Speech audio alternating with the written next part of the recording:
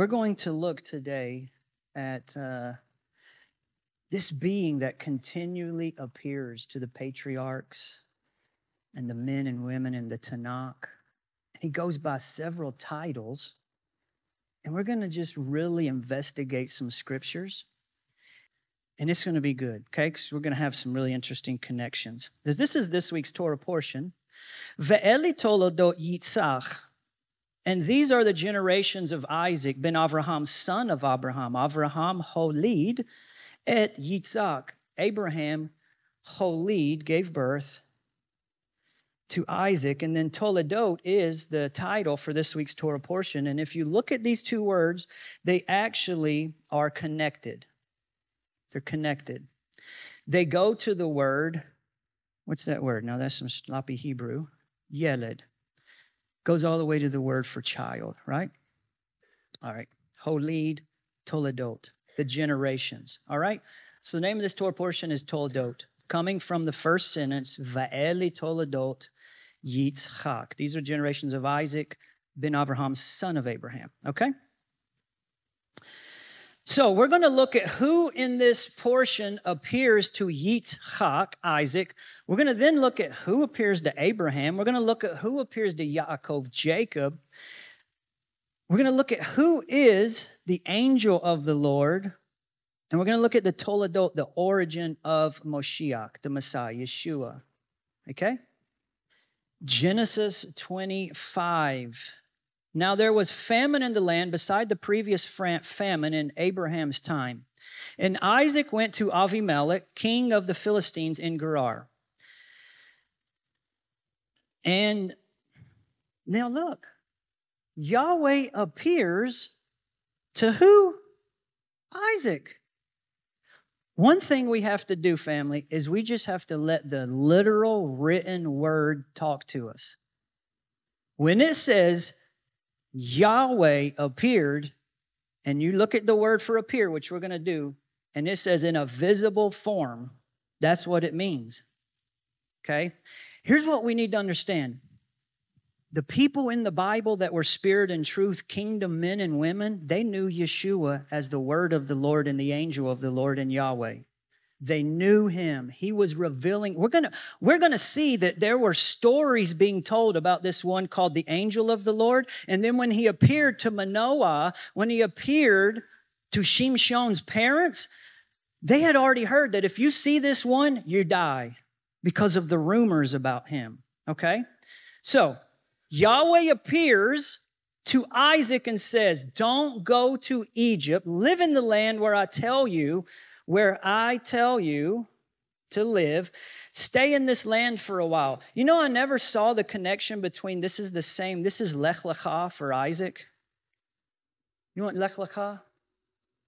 Yahweh appears to Abraham and says, Lech Lecha. Come and follow me and go to a place that I'm going to tell you, but you won't know right now. You just got to walk and you'll figure it out. He tells Isaac the same thing right here. Live in the land where I tell you to live. Stay here for a while. Right? Now, I'll be with you and I will bless you, for to you and your descendants I will give all these lands and will confirm the oath I swore to your father Abraham. So, what we're seeing right now is Yahweh is literally appearing to, and in your Bible, it probably says this the Lord right? Anywhere in the King James, New King James, or some translations, most of them will, will capitalize the Lord, and that means Yahweh. That's the Lord. That's God, right? So, Yahweh appears. Who appears? And he says, I'll make your descendants as numerous as the stars. Who else got this promise? Abraham. Um, they'll be like the stars in the sky, and I'll give them all these lands, and through your offspring, all the nations on the earth will be blessed because Abraham obeyed me and did everything I required of him, keeping my commands, my decrees, and my instructions. This is how we know that there was Torah before Mount Sinai. You understand? Now let's look at the Hebrew real quick. Okay, Vayera elav Yahweh. And Yahweh, Vayera Elav, appears to him. Vayomer al Tered Mitzrayma. And he says, don't go down to Mis- uh, Egypt. Shkan ba'eretz asher omar elecha. Dwell in the land which I'm going to tell you about. Okay? So the Lord is appearing, and this word here, Vayera, everybody say Vayera. It's actually the title of a Torah portion, right? That we already passed. This is Vayera, and this this is how the Hebrew language works, right? There's a three-letter root called a shoresh. This is the root, ra'ah. Everybody say ra'ah. You know what it means? It means to actually appear like you can see it. It's it's to present oneself, to be seen, to be visible. So Yahweh himself comes visibly to Yitzchak. Now, this letter is what letter? What's the purple letter, all of you Hebrew students? Vav, it's the sixth letter. It means and. Everybody say and. Now, when you add a yod to a word like this, it means he will. Vayera, and he will or he did. It means like it's the thing that's happening. What did he do? He. He appeared. And so in this right here, we have the word and he did appear. Okay? A phrase in one word. So I wanted to show you that just because I want you to see like God actually appears to people and they see him. So who is this? Who appeared? This is Yahweh. We're going to get to that. But yes, right now we're just going to take the word. It's Yahweh, right? This is the same Yahweh that appeared to Abraham, his father. And Yahweh tells him that he will confirm the oath that he swore to his father Abraham. So we're going to encounter, we're going to examine this encounter shortly, the other one, okay? So, so far, Yahweh, the Lord, God, appears to Isaac. Now we're in Genesis 26. So um, from there, he goes to Beersheba. That night, Yahweh appeared to him and said, I am what? God of your father Abraham. Do not be afraid, for I am with you. I'll bless you and increase your number of your descendants for the sake of my servant Abraham. Now, what happens here? Isaac is in Beersheba. The Lord appears to him again and gives him the blessing again. He's just saying, I'm going to bless you. Don't be afraid. And then what does Isaac do? He builds an altar and calls on the name of Yahweh. Yahweh. Okay? And he pitched his tent there, and his servants dug a well. So again, the Lord is appearing. It's Yahweh, right? And Isaac, in honor of the Lord, builds an altar and calls, like with his voice, upon the name of who? Yahweh. Now, later in the scripture, it says this, like, oh, when Moses is there at the bush and he's like, I did not appear to your fathers as Yahweh, but as El Shaddai. There's a whole thing that you got to get into with that, and we're not going to touch it right now. But the Lord is being called on by name. And people ask us, why do we say Yahweh? Why don't we why do we actually speak God's name? It's because it's in the Bible. We just follow the Bible. You can be religious and you can not say it. That's all right. Every patriarch spoke his name. Every one of them knew him and used his name. It's powerful. All right? Call it however you want to pronounce it. Just say his name, okay? Now, Genesis 28 just building for us slowly. We're going to get into some amazing connections. Now he has a dream and he sees the stairway, right? Right? This is called what? Something ladder. So you have Avraham, you have Yitzhak, and now you have Yaakov. And he has a dream and he sees a stairway resting on the earth and its top. Look, if you take this word here, do you know what is in, in, in Hebrew? It's who. Is that an olive that spells who? I don't even remember. Anyway, it's the word who. It, right? And he says, it is with his top reaching to the heavens. And the angels of God were ascending and descending on it. And above it stood Yahweh. And he says, I am Yahweh, the God of your father Abraham and the God of Isaac. And when Yaakov woke up from his sleep, he thought, Surely Yahweh's in this place, and I was not aware of it. And he was afraid, and he said, How awesome in this is this place? This is none other than the house of God. This is what's it called in Hebrew? Bethel, Beit El. This is the gate. This is the portal of heaven, right?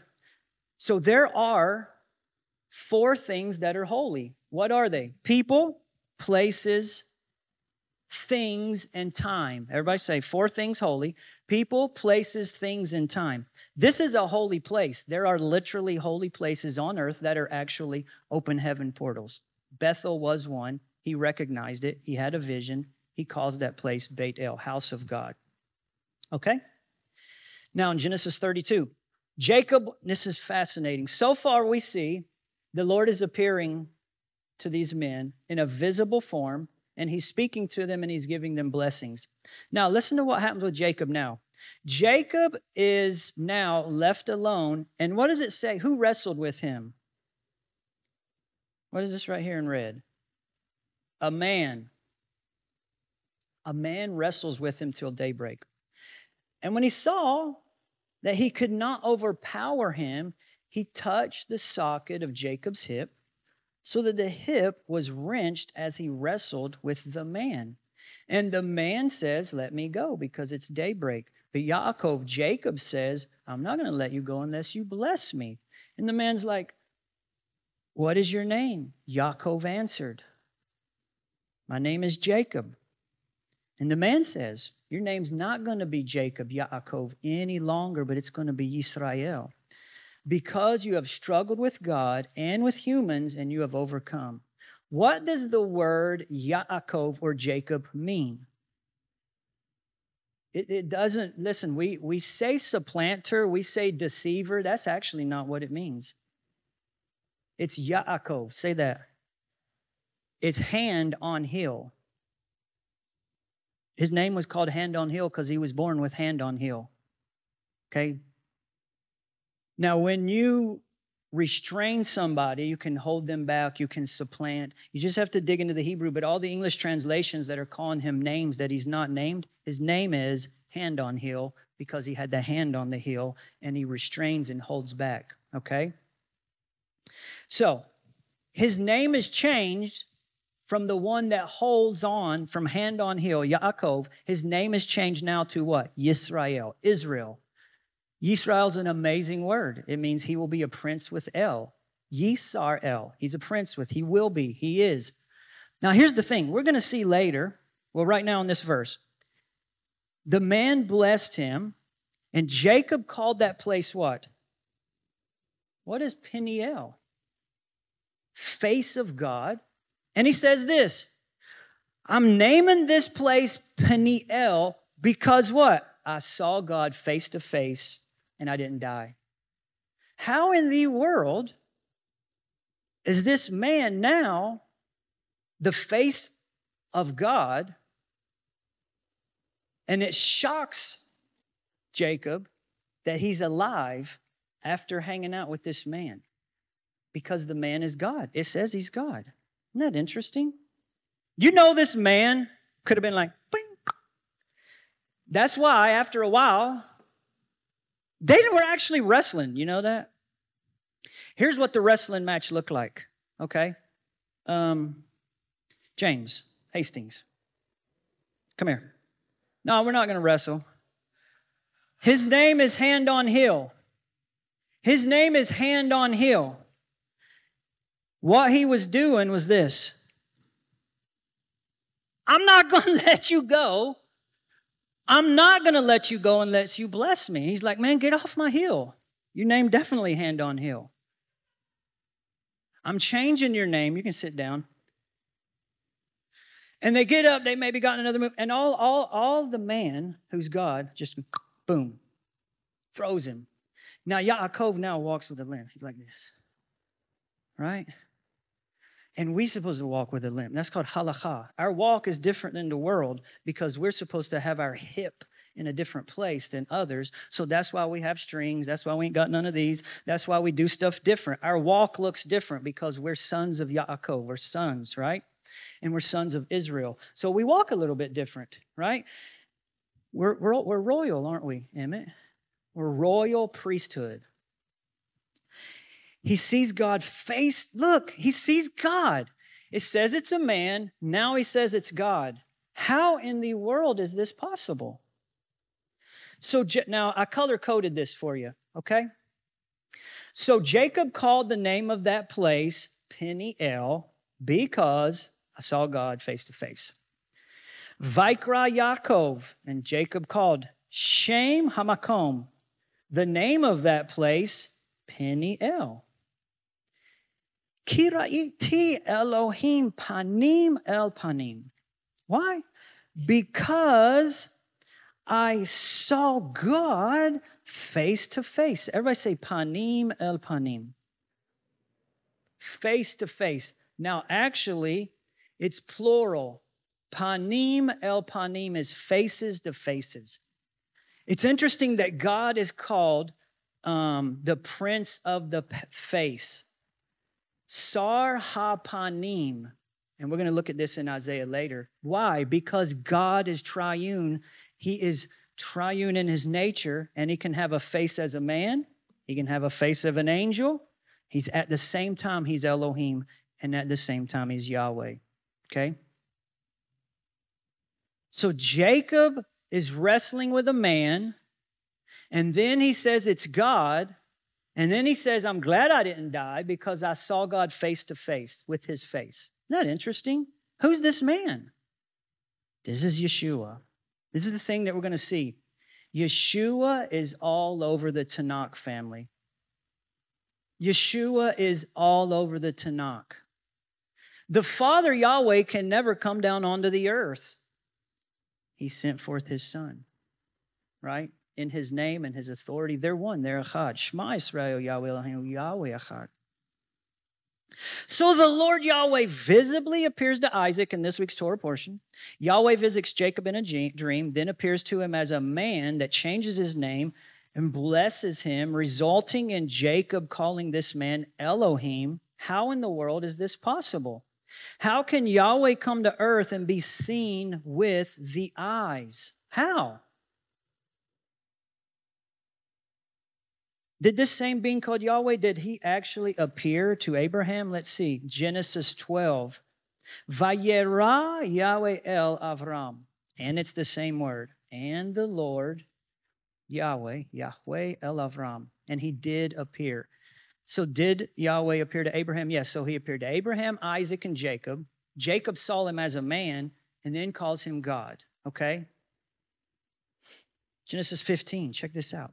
After these things, the word of Yahweh came to Abram in a vision. And he said, Fear not, Avram. I am your shield and your exceeding great reward. Now, you see this right here in the red? This is right here. Haya Devar Yahweh El Avram. And the word of Yahweh came to Abraham. Now, here's what's interesting. If you look at this right here, there's no letter hey before this word. Hadavar. Say Hadavar. Hadavar is the word. Hadavar Yahweh is the word of the Yahweh. This does not have the hey. So the way you can say this, and because there's a little connector right there, it's word Yahweh. Say word Yahweh. In the beginning was, the word was, the word was God. The word became flesh.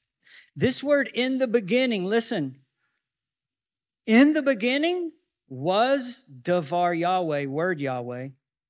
And he was God and he was with God and he became flesh. Here's what's interesting.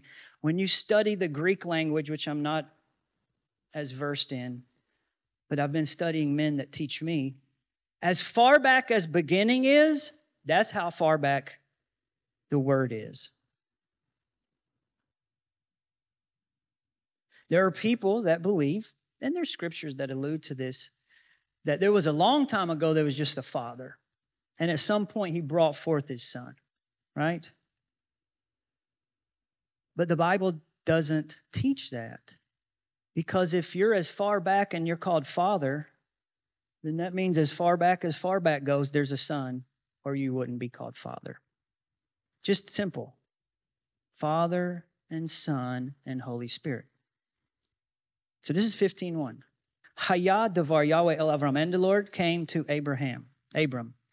And now listen to what Abram says. Abram says, Adonai Yahweh. Now he calls him Adonai Yahweh. He's like, Oh Lord Yahweh, what will you give me seeing that I'm childless? Okay. So look, here's the thing. The word of the Lord is in verse 1. Say, word of the Lord. And now, right here in verse 2, he's calling the word of the Lord Adonai Yahweh, the Lord Yahweh. That means they're the same. Does that make sense? Somehow they're the same. And then, look, right here. Then he says, Ani Yahweh, I am Yahweh. So the one that is Adonai Yahweh is also the one that is the word of the Lord. And we're going to see that that's the same one that was with Jacob called a man. It's really interesting. So let's review. Abraham identifies this one called Word Yahweh as Adonai Yahweh the Lord in verse 2 and verse 8. And then the one called Word Yahweh, the Word of the Lord, the one that is the Word of the Lord, says, Oh, by the way, my name's Yahweh. Isn't that interesting? So now watch this. This is the word Elohim. Say Elohim. This is two words. El-Haim. Say that. Do you know what that means in Hebrew? What is El? God. What is Haim? They. So when you t- this isn't this is not Christian doctrine. This is ancient mystical Jewish understanding that was in place way before there was even Christianity, way like in the times of the Messiah. The sages of Israel in that generation took the word Elohim, cut it in half, and because they saw several places, this is before the religion called Judaism. Okay? They saw places in the scripture where I was showing you. So they said because Elohim is plural in its nature, they actually, the sages began to cut that word in half and say one of the ways you can define it is they are God. Elhaim, Elohim. Is that interesting? Because they are God. Who's they? The angel of the Lord, Yahweh, the man, the word of the Lord, these are all called Elohim or God. They are God. Shema Israel, Yahweh Eloheinu, Yahweh Echad. Even in some ancient mystical Jewish texts, the debate was over why is God's name in the Shema three times? And the answer was because God is three in one in his nature. Isn't that interesting? I've got teachings on that with the sources. So Abraham now in Genesis 20, we're going to jump Genesis 20. Abraham's talking about why he asked his wife to be his sister. Remember, there's the discussion going on. And then it says, It came to pass when God, who? God caused me to wander from my father's house. So let's jump back. To, listen, Genesis 12, the Lord appears, right? And we saw that that was Yahweh, right? Now he's retelling the story and he's saying it was God, Yahweh, that told me, Lech lecha, get up and leave my father's house. Does that make sense so far? All right. He's retelling. Came to pass when God caused me to wander from my father's house, I said to her, This is your kindness that you should do for me in every place where we go. Just say I'm your brother. He's just, he's retelling this story. What's amazing is that this word here caused to wonder is third person plural. What does that mean?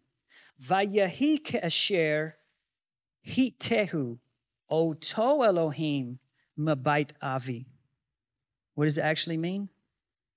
It means, and it came to pass when God caused me, is third person plural. They all caused me to leave. Do you get the Hebrew grammar is not written wrong by Moshe? When you see singular and plural in the same verse, it's teaching us the depths of understanding that God is compound and complex in his nature. Everybody say that. God is compound and complex in his nature. It's so far out of our understanding that God had a council with the Father, Son, and Holy Spirit even before they made anything, they existed.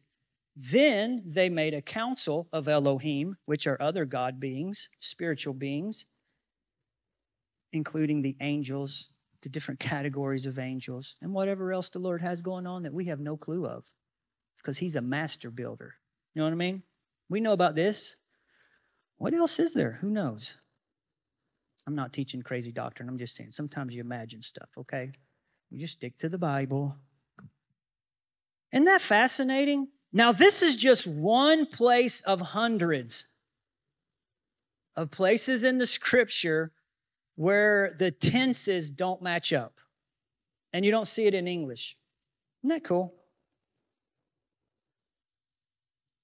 Now, look at what Hosea says. I never caught this until this week's study, and I was telling Pastor Scott, I found some cool connection with Hosea that's going to tie some things up for us here.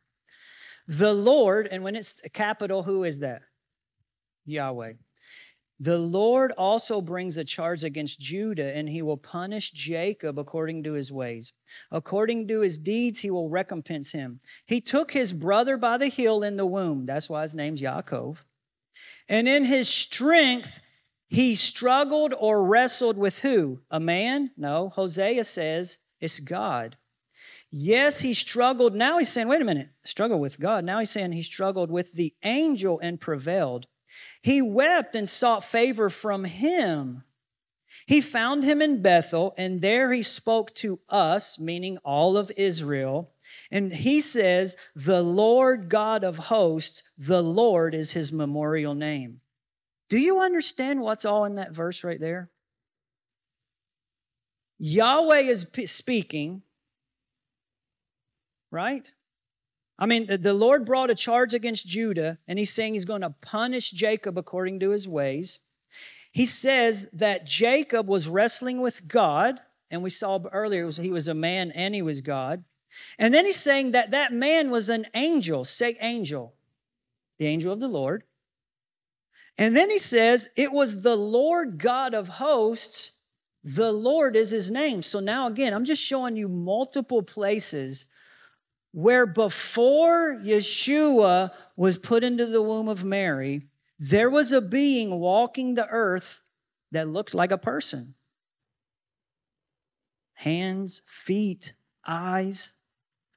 They're called theophanies and Christophanies in, in theological circles. All it is is pre incarnate Yeshua. And he looks like a man. Sometimes he's called an angel. Sometimes it's called the word of the Lord. In this passage, he's called the Lord of hosts. That's like God. Isn't that amazing? Now, in verse 2, check this out right here.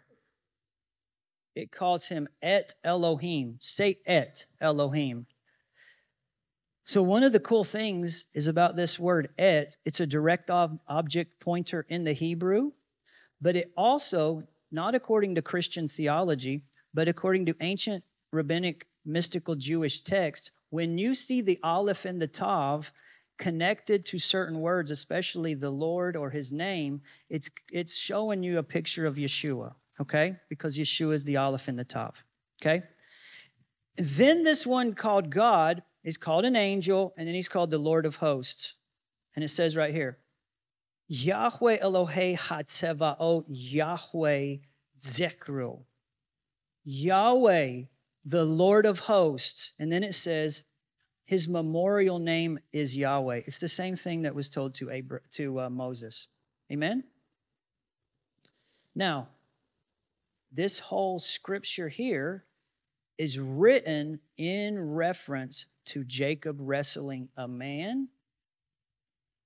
And then the man ends up being God that he saw face to face. Isn't that interesting? So, how can a man be God?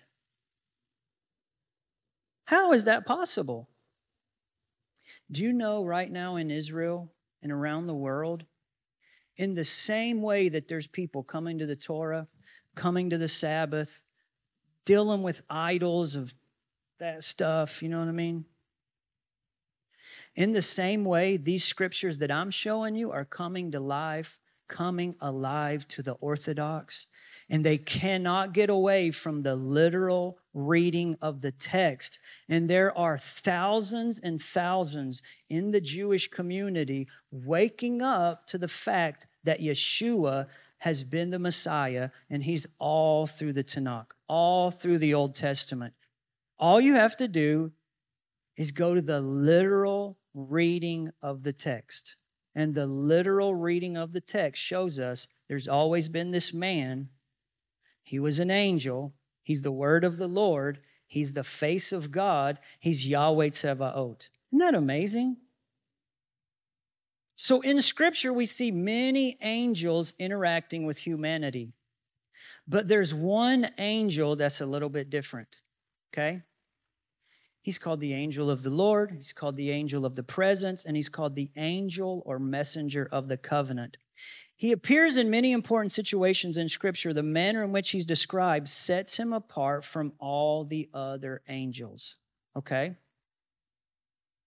There are three possibilities to the identity of the angel of the Lord a mighty angel who acted as a special representative, an agent, this is called agent theology, an apostle or a shaleach of the Lord. Okay, some people just see the angel of the Lord and this man that wrestled with Jacob and all of these appearances, they don't see that as actually being God. They say they see that as being a sent one, an agent or a representative that's just coming. It's just a regular angel and he just speaks for God. That's what a lot of people think. The other option, it could be God the Father in a body, okay? Or the reality of the issue, what we think, what I think, is that it's the Son of God taking a body for a short period of time before he was born in his human form. Okay? Now, many of you are like, yeah, I know that. I believe that. Well, here's what's going on there are people out there that are really, really getting a little bit off track and teaching things that are contrary to the Word of God. And what happens, and it kind of floats in and gets involved in people's lives. And it's a confusion of what the text is and what the Orthodox understanding of the nature of God is. So I'm just coming to bring some clarity to that. Amen? I'm coming to say it's not Catholic to believe in the Father, Son, and Holy Spirit. It's biblical understanding of the nature of God. That's what it is, right? And this is the Shema. We've said that over and over. Now, Check this out Exodus 33. The Lord, and that's Yahweh, says to Moses, Depart and go up from you here, you and the people who you brought out of the land of Egypt, to the land which I swore Abraham, Isaac, and Jacob, saying, To your descendants I'll give it. And listen to what the Lord says. Who's talking? This is what's so amazing. I'm going to start showing you places in the Bible now where Yahweh is talking and you know, there's another Yahweh. There, you're going to see two Yahwehs in the same scriptures. Doesn't mean there's two gods. It just means there's a Father and the Son, and the Son is called Yahweh, and the Father is called Yahweh. Now, this right here says the Lord is speaking, and it's Yahweh. And he's talking to, to Moses, and he says, Guess what? I'm going to send my angel with you. Okay? And he will drive out Canaanites, Perizzites, all the ites. This is Exodus 33, 1 and 2. Now jump to Exodus 33, 11. So the Lord spoke to Moses what? As a what? V'daber Yahweh el Moshe. And Yahweh spoke to Moses, panim el panim. We already saw that. Who else was spoken to panim el panim? Yaakov. And Yaakov calls that place Peniel. Why? Because he was wrestling with a man. That man ends up being God. And then he says, I saw God face to face and I didn't die. So the place was called Peniel. It's the same exact person and phrase that's dealing with Moses here. And then it says, Kasher Yedabar Ish El Ra'au. Because or as a man, this is the word man, speaks with his friend. Isn't that interesting? So Moses actually saw the Lord and was able to speak to him. That's Yeshua family. This isn't this isn't anything other than the man Yeshua. And the man Yeshua is the same one that's in the Bible in Exodus 19. He's the one giving the commands. He's called Et Elohim, and he speaks and he gives the commands to the people. Okay? Again, Jacob called the place Peniel because he saw God face to face. Isn't that interesting? So Abraham, Isaac, Jacob, they all see Yahweh. Moses see Yahweh. They talk to Yahweh. They see him face to face. He's hanging out. He's like a man. He's called an angel. It's interesting. And then Moses says to the Lord, he says to Yahweh, You say to me, bring up this people, but you haven't told me who's going to go with me. Yet you said, I know you by name, and I found grace in my sight. Now, therefore, I pray, Lord, if I found grace in your sight, show me now your way that I may know you and that I may find grace in your sight. And consider this nation as your people. And he said, My presence. Now the Lord is speaking to him. Now the Lord is responding. Moses talking to the Lord. He's like, Listen, you told me you're going to send me out. You said you're going to send somebody with me. I need to know who, who's going with me. Joshua? Is it something else? Who is it? Right? Please tell me, Lord. I got all these millions of people. I need help. And this is what he says my presence will go with you. What do you think that is in Hebrew? Panai. My face will go with you. One face now, because it's the messenger of the covenant, the angel. Panim is plural. This is singular. This is plural. When it says my presence will go with you, I was expecting the word Shekinah or kavod, something else, which is like glory or the presence. It's the word my face is going to go with you. Isn't that amazing? I just think like the literal Bible is the coolest thing you're ever going to read, man. Just read it. Get a concordance, go on and find one of those apps, right, that you can look into the Hebrew and start investigating these things for yourself, okay? The technology now makes it easy. And he, the Lord, says, so this is what? Exodus 33, this is 12, 14. Now we're jumping to 19. Same area, same conversation, things like, listen, who's going to go with you? I'm going to send my angel, and he's going to be my face. My face is going to go, and it's going to be my presence. And then he, the Lord, says, I myself will make all my goodness pass before you, and I will proclaim the name of the Lord. And then he says this, but you cannot see my face and live. Wait a minute. How's he going to say you can't see his face when all the other patriarchs already saw his face? Right? Did they see his face? Yes. They said, I saw God face to face. I didn't die. I named the place Peniel because it was face to face. Moses saw him face to face. Now, just a little bit longer, a little bit further, he's like, you really can't see my real face. What in the world?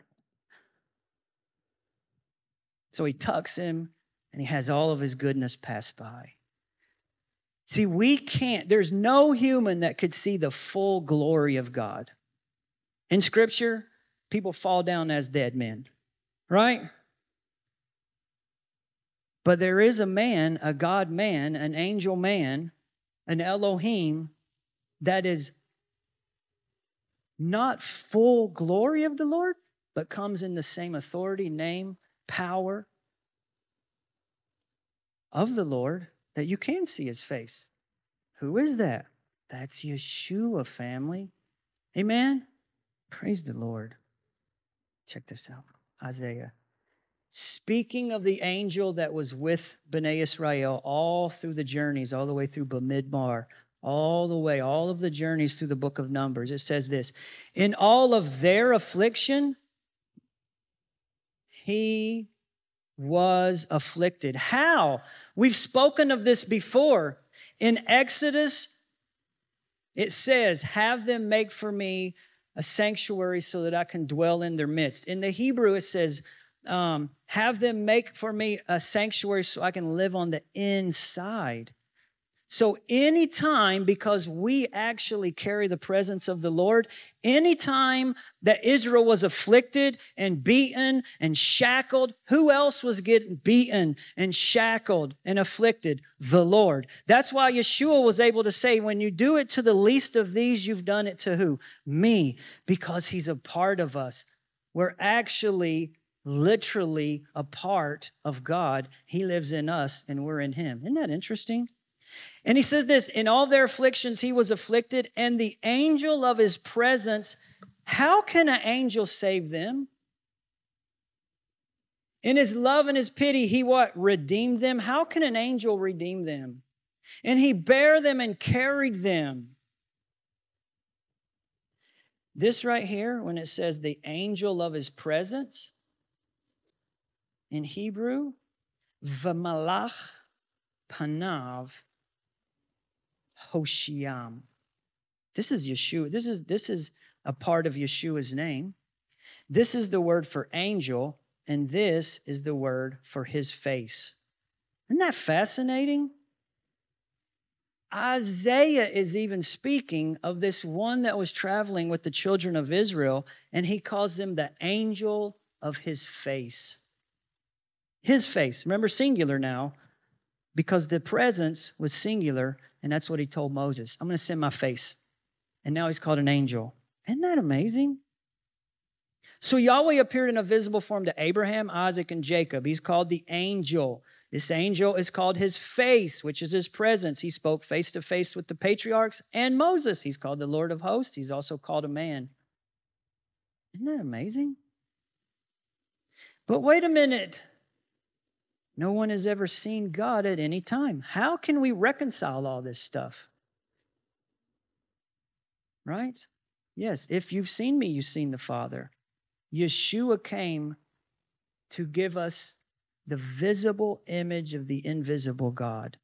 He emptied himself, according to Philippians, of all of his divine prerogatives, of everything who he was in eternity, and he emptied himself to become a man born into a physical body, which is absolutely amazing. And he did all that because of his great love for us.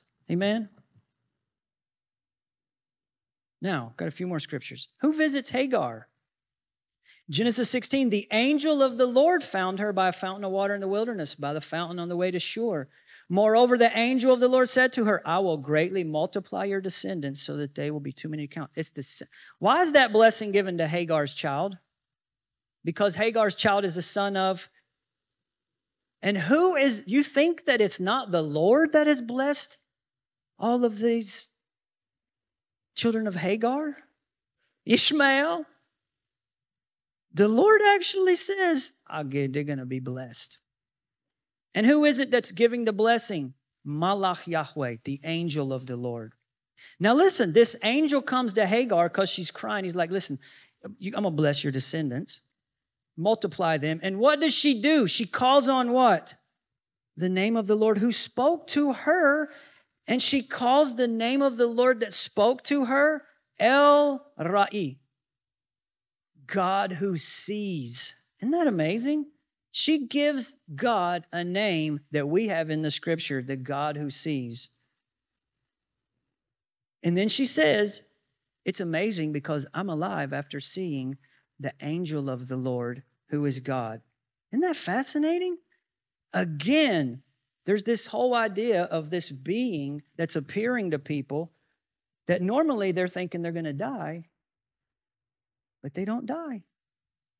Now, the angel of the Lord said, I brought you up out of Egypt into a land which I've sworn to your fathers. And I said, I will never break my covenant with you. This is in Judges. And and as far as you, you shall make no covenant with the inhabitants of this land. You shall tear down their altars. This is, this is right when Joshua and the children of Israel, they're getting ready to cross over. Joshua 5, they're actually going into the land. This is an address that's going on.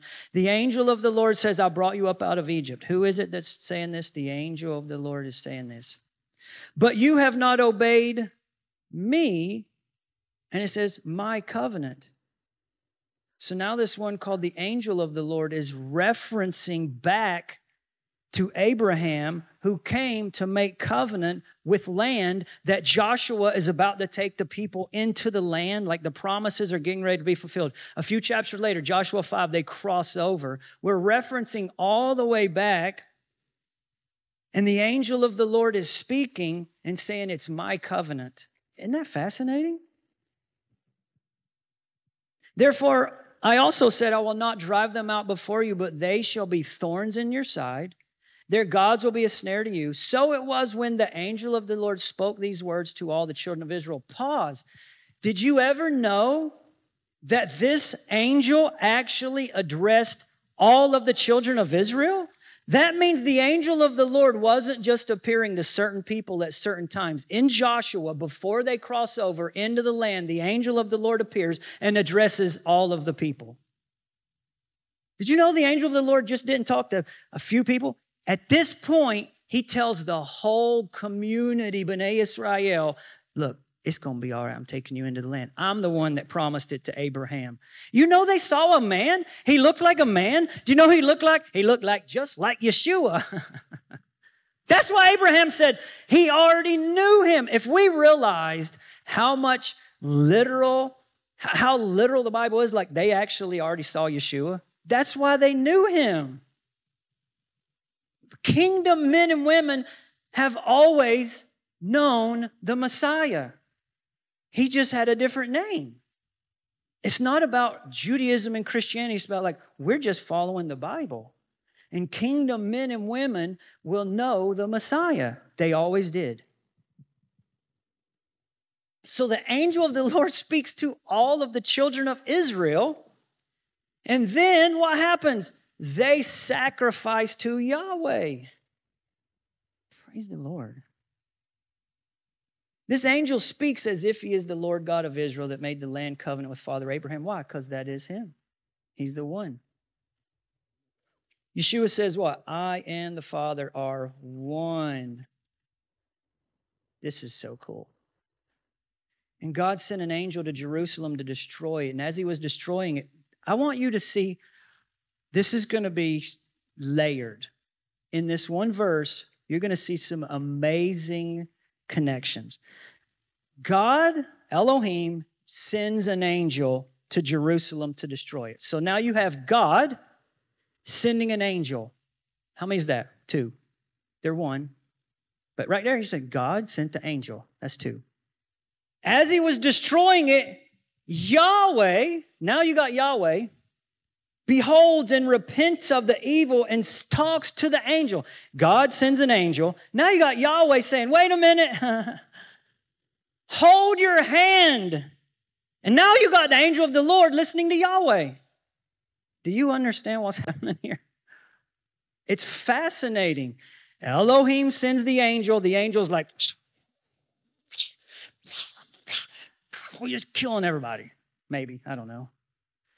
I just think it's amazing. God, Elohim sends an angel. Then Yahweh's like, hey, angel, hold on a minute, pause. Now the angel's waiting. And David is seeing the whole thing. And he sees the angel of the Lord standing between heaven and earth, having a sword over Jerusalem. This is amazing. And David and the elders of Israel who were clothed in sackcloth fell on their face and the Malach Yahweh commanded Gad to prophesy. How can an angel give a prophetic declaration to the prophet to go to the king? Because he's Yahweh himself.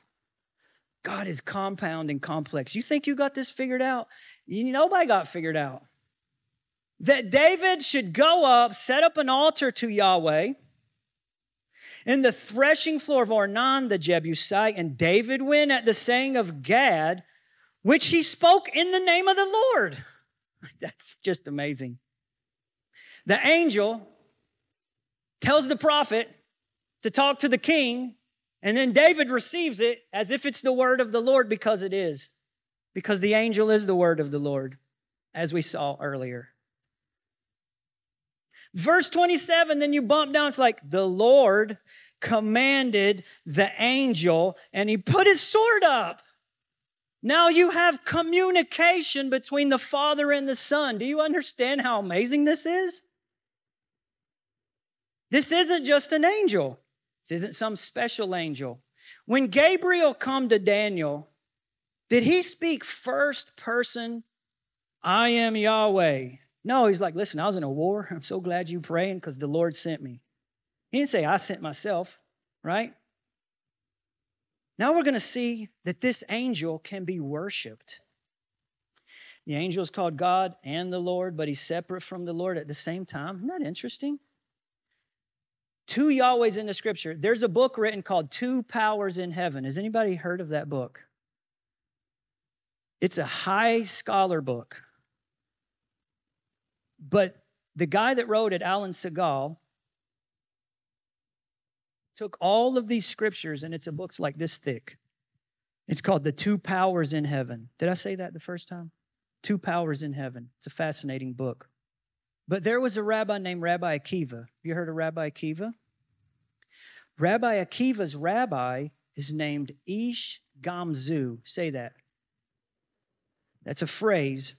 But this man, Rabbi Akiva's rabbi, and this is in the days near the time of the apostles, this man, Rabbi Akiva's rabbi, studied all of this stuff and studied the Aleph Tav and began to say and write down there's two powers, there's two Yahwehs. This Aleph Tav is teaching us more than a direct object pointer, it's pointing to two divine beings. The other rabbis of that generation told him to burn his work because he was getting into heresy because God is only one and not compound. So the work was destroyed, and then later some of it was found and resurfaced by Shimon Bar Yochai. Okay? This might not mean any of stuff to any of you guys, but I've got the references on this stuff. Amen? So, what's interesting is you see two beings called Yahweh, not that there's two Yahwehs. There's one God but in some passages, you see two beings called Yahweh. That's what we were looking at for the last 20 minutes. Now in Isaiah 44, it says this Thus says Yahweh, the King of Israel, and his Redeemer, who's called what? The Lord of hosts. How many? But they're one. And then the one that says, Thus says Yahweh, the King of Israel, and his Redeemer, Yahweh of hosts, he says, I am the beginning and the end. What does Yeshua say in the book of the Revelation? I'm the beginning and the end, the Alpha and Omega. He's actually saying, I'm the Aleph Tav, right? When all things are subdued unto him, then he shall then shall the Son himself be subject unto him that put all things under him, that God may be all in all. In Zechariah 14, and Yahweh shall be king over the earth, and in that day will be one Yahweh, and his name one. That means right now there's some kind of amazing mystery going on. And in the future, there's going to be a further unification of all of these, and we'll be able to understand it a little bit more. Right now, it's just read the literal text. Sometimes challenges and boggles the mind, doesn't it? How can all this be? That it's a man, that it's an angel, that it's God, that it's God's face, that it's the angel of the Lord, that he forgives sins. Now he's going to be worshiped the birth of Shimshon. The angel of the Lord appeared to the woman, this is Samson, Shimshon's mom, and says, Behold, now you're barren. You can't have any children, but you will conceive and have a son. The woman comes and tells her husband, saying, Now look, it's an angel who appears to Samson's mom, the angel of the Lord. Now, when she goes and tells her husband, she says, It's a man of God. That shouldn't surprise us because all of the scriptures we've already seen. A man of God came to me his countenance was like an angel of God. What? Because he was. So she goes and get her husband. She's like, honey, this glowing, brilliant, vibrant being, he's a man of God. He looks like an angel. He came to me and said, I'm going to have a son. And now he's like, oh, Lord God, please have the man still be there. So Manoah, Shimshon's dad, praise to Yahweh. He says, Oh Yahweh, my Lord, let the man of God, who's an angel, which you sent, come again to us and teach us what we must do to the child. And now you have the word God. Elohim hearkened to the voice of Manoah, and the angel of God came again to the woman as she sat in the field. But Manoah, her husband, wasn't with her. And the woman, now she runs. She's like, hey, the man is back. Come on. So what happens? He comes. It's the same one appeared to me the other day. Now the angel of the Lord, who she said was a man of God, speaks to Manoah. As though you detain me, I will not eat your bread. And if you offer a burnt offering, you must offer it to Yahweh. You have to offer it to the Lord. For at that time, now the understanding comes, and Manoah knows this isn't, it's supposed to be the. He knows that it is the angel of the Lord, not un, it's the in the Hebrew. And Manoah said to the angel of the Lord, What's your name?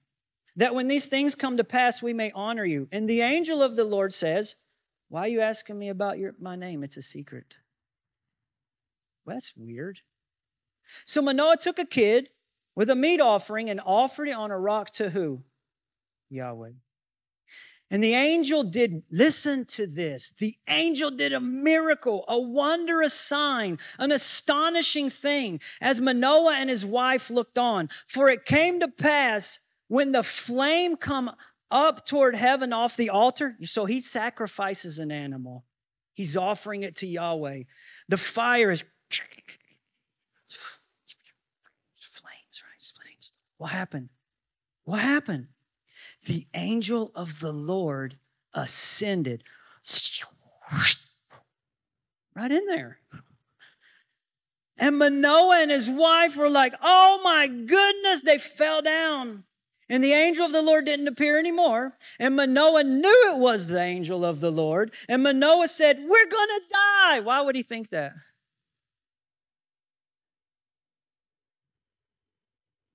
This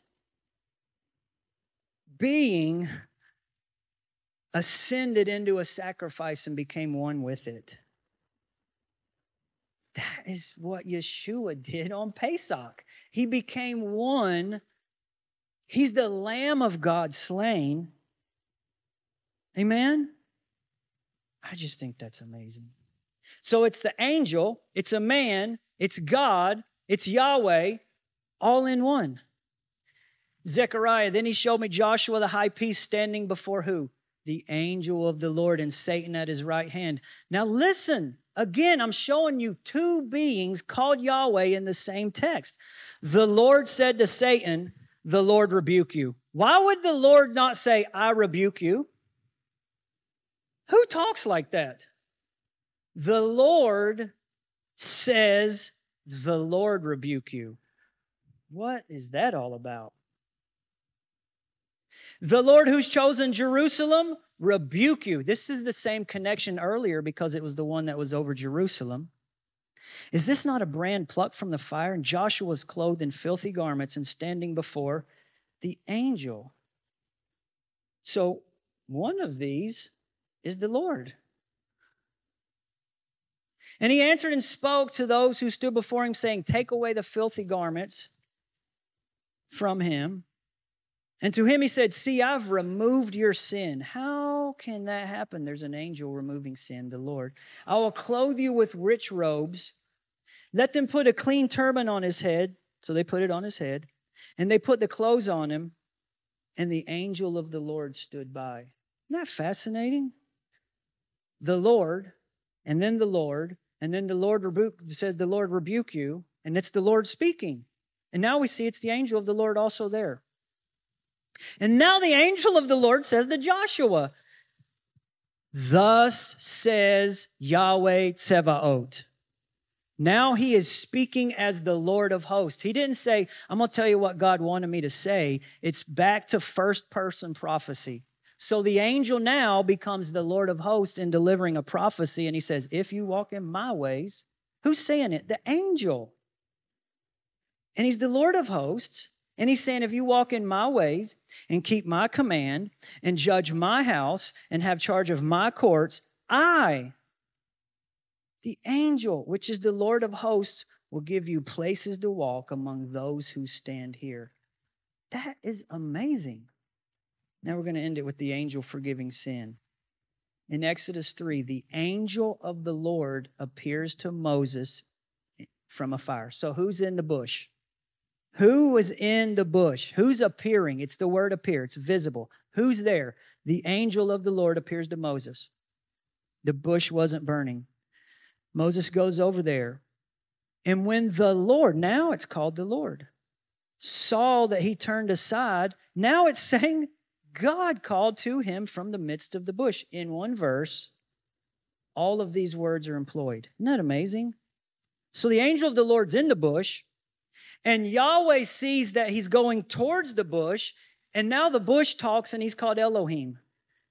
Isn't that fascinating?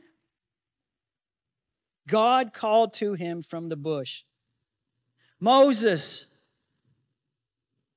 Moses. Yes, Lord. He said, I am the God of your father, the God of Abraham, the God of Isaac, the God of Jacob. And Moses hid his face. Why? He didn't want to die. He was afraid to look upon God. He's seeing God there. And then Moses says to God, Indeed, when I come to the children of Israel and I say to them, The God of your fathers has sent me, and they say, What is his name? What am I supposed to tell them? And God says to Moses, Ehia esherehia. I am who I am. So now the angel of the Lord is called God because it's the angel of the Lord in the bush. Right or wrong? Who's in the bush? The angel of the Lord. But then it's called God speaks. And when the voice comes out of the bush, the bush says, Ehia esherehia. I am that I am. So the one in the bush is called the great I am. And he says, Thus say to the children of Israel, Yahweh has sent me. That's fascinating. This is my name and my memorial name forever. Zeshmi leolam. Vazeh zikri. Zikri ladordor. Forever. This is going to be my memorial name.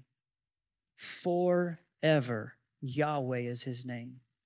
Now, if Yeshua is not Yahweh, and if Yeshua is not the one in the bush, and if Yeshua is not the man that wrestled with Jacob, and if Yeshua is not the one called the angel of the Lord, and if the angel of the Lord in the bush says, I am who I am, then why does Yeshua say, Truly I say before Abraham was born, what? Ehia, I am. So God, family, is compound and complex in his nature. There are two beings called Yahweh in that text. One's an angel that comes to earth. Um, not in that text, all over the scripture. One's an angel that comes to earth and he looks like a man. He can receive worship and he's called Elohim. And the other Yahweh, you only hear. You know what happened when Yeshua was baptized? What happened?